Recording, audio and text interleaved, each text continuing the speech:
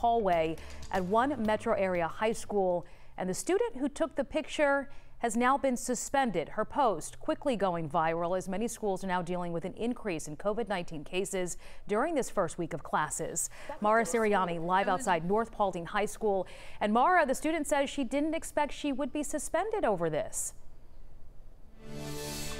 She certainly did not. That student is 15 year old Hannah Watters, and she says she posted the images of the overcrowded hallways here inside of North Paulding High School because she felt uneasy. She says her peers, most of them not social distancing or wearing masks, and she didn't expect this photo to go viral. She also didn't think she would get suspended. Now, the 10th grade honors student was pulled from class and told that she violated three rules from the Paulding County School District's Code of Conduct for using her cell phone without permission during school hours hours. But the code also says students are allowed to use their phones when they're in the hallway. Hannah recorded other underage students and posted the video and photo to Twitter and says at the time she didn't realize she was breaking any rules.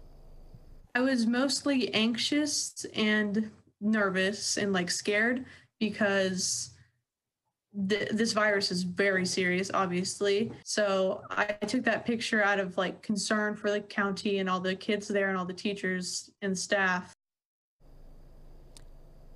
Now, Hannah has since been learning virtually from home. Again, since all of this happened, she says the goal was not to get the school shut down or get anyone in trouble, nothing like that. She just says uh, she wishes the district would enforce some mask policies. Now, we did reach out to the Paulding County School District, and as of right now, we have not heard back yet.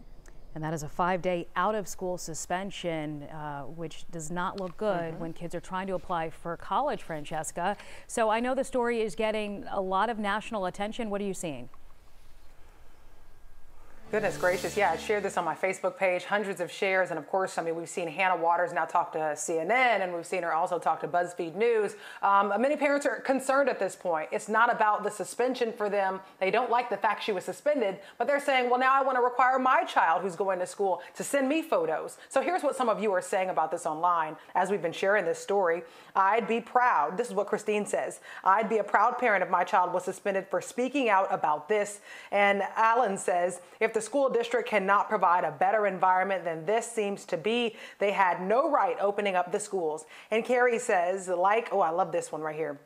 Uh, like Representative John Lewis said, never ever be afraid to make some noise and get in good trouble, necessary trouble. And it's funny because that comment, and, and uh, several people on my Facebook page made that exact comment. This is the type of good trouble to get into. But as you mentioned, Sheba, it's nothing you want to see on a college um, uh, file going into college, right? I also want to mention this as well. She also took tab of how many students in her classroom were wearing masks, and she put first block, 9 out of 28. Second block, 5 out of 30 students. Third block, 10 out of 30 students wore masks. And for the fourth block, 4 out of 14 students wore masks. So you can see that the mask, people wearing masks, the students, they're opting to not wear masks um, when it comes to looking at those numbers. So we want you to continue to chime in on this conversation. Again, many parents lauding her, saying, great job taking those photos, yeah. and they urge other students to do the same.